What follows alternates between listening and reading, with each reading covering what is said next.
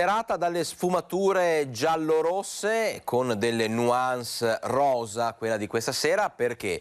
Perché, eh, buonasera intanto e ben trovati a tutti voi eh, cari telespettatori, eh, dicevamo perché? Perché parliamo di Bassano, parliamo quindi del calcio bassano e parliamo anche del calcio femminile a Bassano.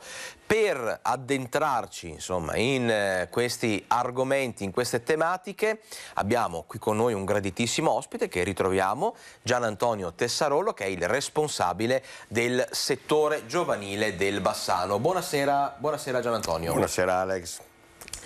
Come ormai sanno, perché è un teatrino che va avanti fra me e te da anni, eh, perdonatemi se ogni tanto mi scapperà la parola mister, perché noi ci conosciamo da tanto tempo, da quando proprio eh, Gian Antonio Tessarollo allenava, quindi io ti faccio ringiovanire e Grazie. i telespettatori a casa mi perdoneranno se ogni tanto mi scappa eh, questa, eh, questa, parolina, perché eh, l'abitudine è quella. Comunque, detto questo, tanta carne al fuoco, perché? Perché parliamo di un settore giovanile importante, di un settore giovanile in crescita, ma iniziamo con il focus sul calcio femminile a Bassano, un progetto che è nato, che sta crescendo nonostante le difficoltà insomma, del periodo, il Bassano eh, ha l'Under 15 e ha tutta l'intenzione di attivare anche l'Under 17.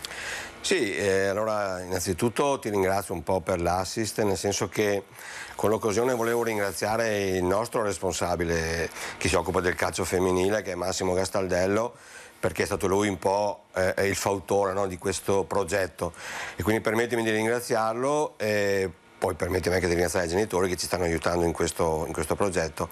E noi ci crediamo molto perché eh, riteniamo che sia un progetto importante eh, anche perché eh, diciamo, nel Veneto, a parte le società professionistiche che lo fanno un po' perché è nel loro diritto, siamo un po' gli unici noi che eh, eh, lo facciamo. Ci crediamo perché quest'anno abbiamo fatto l'Under 15, stiamo facendo dei buoni risultati, anzi devo fare i complimenti al mister e alle ragazze.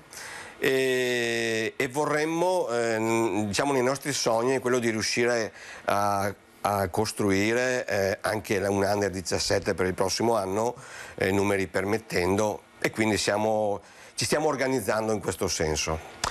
A proposito di eh, appunto numeri, parliamo un attimino proprio di questo, quante eh, ragazze insomma, ci sono che eh, vestono la maglia giallorossa e soprattutto il bacino bassanese, perché sappiamo che ci sono altre eh, realtà, ad esempio come Rosà che ha un progetto legato al calcio femminile, eccetera, ma il territorio bassanese è recettivo, ci sono eh, tante ragazze che vogliono giocare a calcio? Guarda, noi abbiamo iniziato, Alex, mi ricordo, eravamo una quindicina. Ad oggi siamo in 21-22 mi pare, quindi per noi è già un ottimo risultato. È chiaro che è difficile perché ragazzine che giocano a calcio ce ne sono poche, no? Poi sai che molte ragazzine giocano con, con, con i maschi, diciamo, perché fino a 14 anni la federazione gli permette di giocare certo. e quindi non è semplice.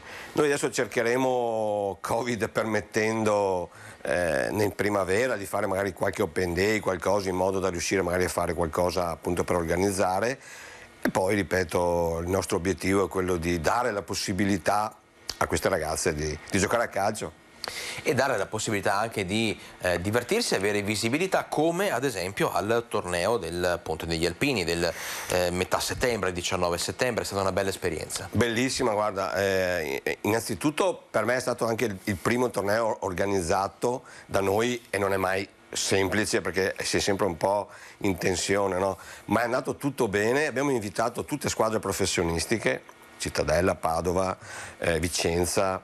Eh, e quindi è andato bene sotto l'aspetto organizzativo.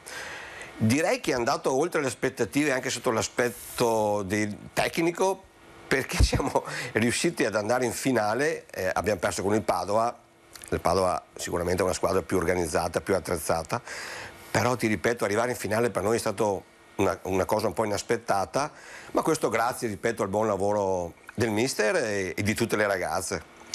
Parlavi prima, eh, Gian Antonio, del ruolo dei genitori, li hai ringraziati, no? le famiglie. Sì. Ecco, eh, quanto eh, le mamme e i papà stanno vicino alle proprie, eh, alle proprie figlie e alla società, al Bassano, per portare avanti questo progetto?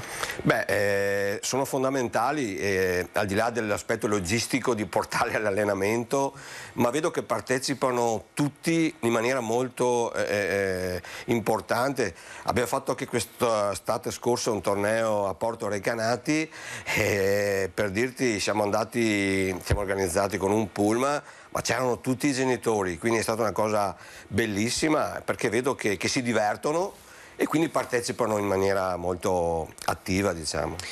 In questo periodo qui qual è la situazione allenamenti, eh, covid, impegni ufficiali, insomma eh, come vi state attrezzando in base chiaramente alle direttive della federazione, allo stop dei campionati e quant'altro? Eh, in questo periodo sai, siamo un po' deficitari, nel senso che da 21-22 siamo 13-14 perché tra quarantene, isolamenti fiduciari, eh, Covid, ok, abbiamo un po' perso la situazione, l'abbiamo sotto controllo, però siamo un po', un po', a ranghi ridotti. Però piano piano ci riprenderemo anche perché tieni presente che il campionato femminile che è di, a carattere nazionale sì. riprenderà il 6 febbraio, quindi siamo molto vicini alla, alla ripartenza. Assolutamente. Allora, detto e parlato del calcio femminile, eh, ci spostiamo a parlare di settore giovanile in generale, settore giovanile del Bassano che come tutti gli altri settori giovanili eh, del nostro territorio sicuramente vive un momento complicato. Complicato perché? Perché è legato al return to play, legato alle difficoltà insomma anche eh, di avere i ragazzi a disposizione proprio per quello che si diceva, quarantene, isolamento e casi di Covid. Eh, partiamo proprio da una panoramica un po' generale, eh, come vanno le cose nel settore giovanile da questo punto di vista?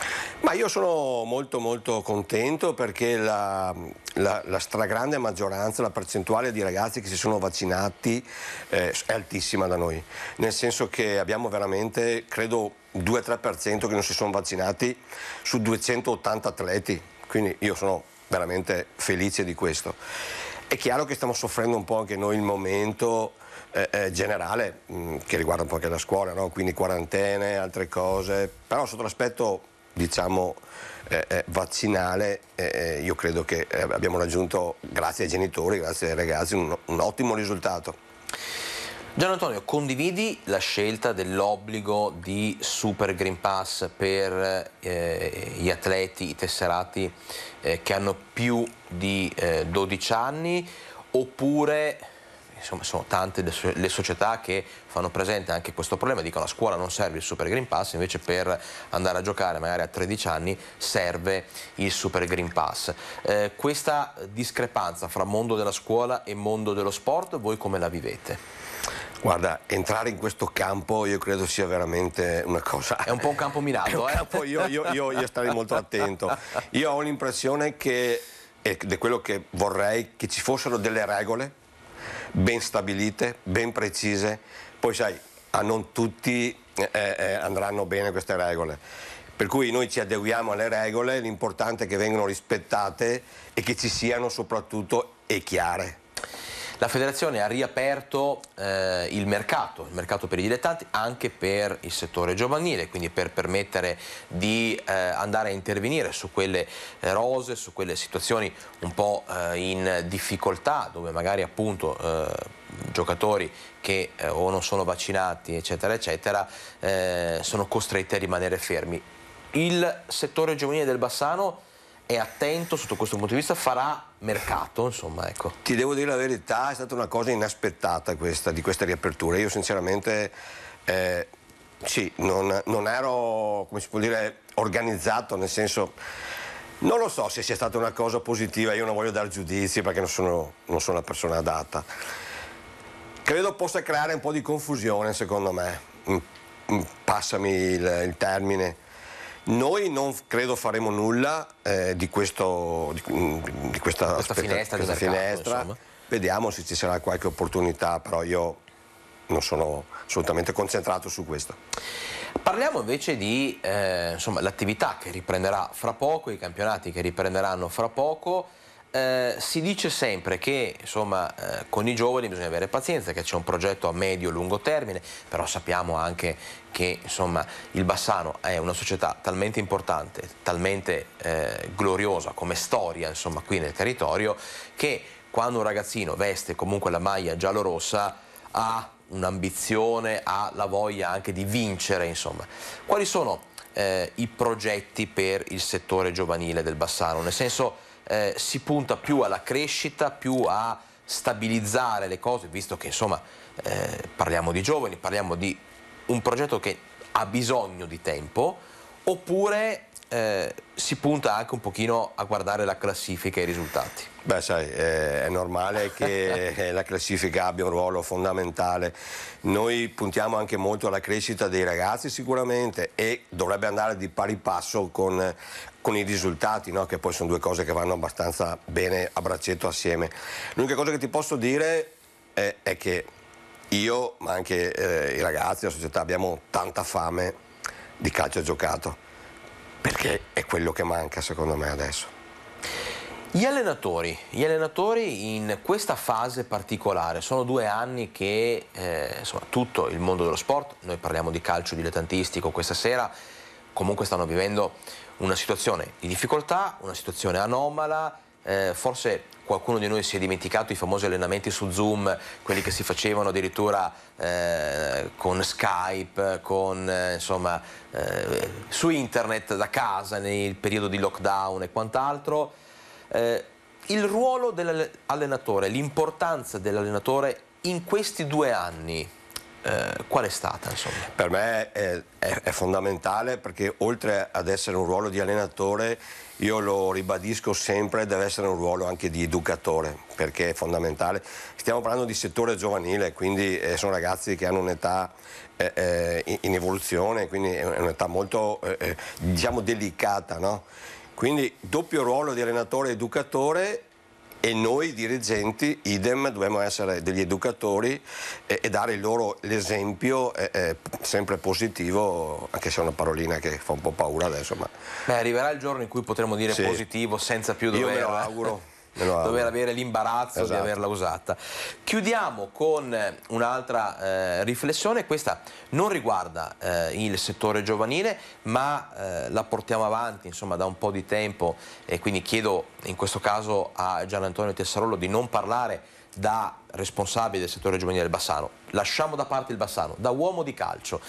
Eh, va avanti da un po' di tempo questa polemica, questa diatriba fra eh, società e calciatori, parliamo di prime squadre, per quello che riguarda la questione rimborsi spesa, nel senso eh, i campionati partono, ripartono un po' più tardi, quindi la stagione si allunga di due o tre settimane, quant'altro, mm, forse in alcuni casi un mesetto, con, considerando un po' recuperi, rinvii e quant'altro.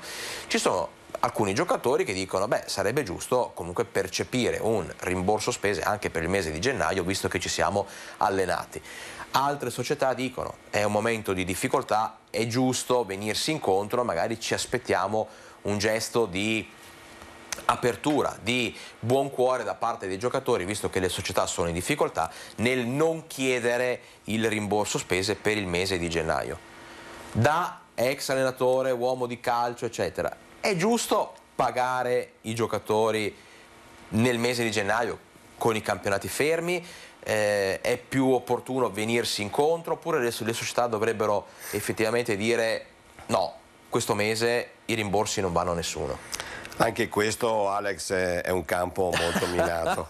Nel senso... Eh, ma domande troppo facili non sì, posso questo è vero. Però io che ho vissuto anch'io con tanti anni fa, il discorso delle prime squadre, così, è sempre stato un argomento molto delicato. Lì secondo me mh, deve essere un po' eh, la dirigenza che trova, tra virgolette, no? un, so, un, accordo con i, con i ragazzi, secondo me questo è la cosa importante. Ecco perché ti dicevo prima che la figura importante nostra come dirigenti è proprio questa, eh sì. che deve essere quella di trovare appunto dei giusti equilibri eh, eh in queste situazioni, perché sono molto delicate. E allora noi ringraziamo Gian Antonio Tessarollo, mister, visto che tutta la puntata non l'ho detto, lo dico alla Grazie. fine, mister Tex per essere stato in nostra compagnia anche questa sera, lo ritroveremo più avanti nel corso della stagione, sempre un po' per fare il punto su quello che succede nel settore giovanile del Bassano. Grazie, Grazie per essere Alex, stato qui. Grazie. Grazie a tutti voi e lo dico sempre, che ogni sera eh, ci seguite con tanto affetto, appuntamento a domani, poco prima delle 20 con Sport in Casa.